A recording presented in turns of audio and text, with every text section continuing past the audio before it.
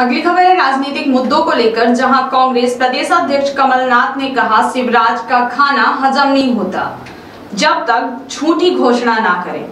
CM के पास vision नहीं, television है। मध्य प्रदेश में 12 महीने, यानी मुख्यमंत्री शिवराज सिंह चौहान ने 18 साल में केवल झूठ की ही घोषणाएँ की। अगले साल 2023 में होने वाले विधानसभा चुनाव को लेकर कांग्रेस ने तैयारी शुरू कर दी है। मिशन 2023 को लेकर कांग्रेस प्रदेश अध्यक्ष और पूर्व मुख्यमंत्री कमलनाथ मंगलवार को नर्मदापुरम आए।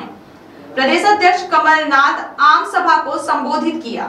उन्होंने मुख्यमंत्री शिवराज सिंह चौहान और उनकी सरकार को घेरते हुए कहा, शिवराज सिंह ने 18 साल में केवल बीस हज़ार घोषणा शिवराज सिंह का खाना तब तक हजम नहीं होता जब तक कि वे झूठ की घोषणाएँ ना करें। जहाँ नदी नहीं होती, वे वहाँ भी पुल की घोषणा करते हैं।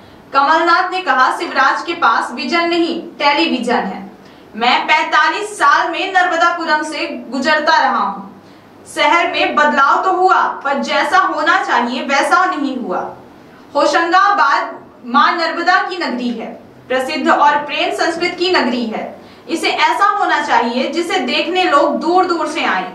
पर मुख्यमंत्री ने ध्यान नहीं दिया। नर्मदापुरम विकास में पिछड़ा है। मुख्यमंत्री शिवराज सिंह चौहान के पास विजन नहीं, टेलीविज़न है। कमलनाथ ने कहा, देश में कई प्रकार जाति, धर्म, संस्कृत के लोग निवास करते हैं। एक तिरंगे से हमारी पहचान है और एकजुट है। कांग्रेस जोड़ने की बात कहती है, लेकिन वर्तमान में देश में अलग प्रथा चल रही है। देश को तोड़ने का काम हो रहा है। पंजाब में पिछले 30-40 साल में कभी खालिस्तान के नारे नहीं लगे।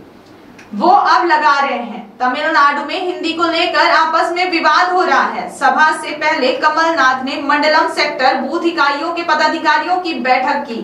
ज़िले के संगठन प्रभारी एवं गाडरवाड़ा विधायक संजय शर्मा स्वयं तीन दिन से ज़िले में मौजूद हैं और तैयारियों की मॉनिटरिंग करते रहे।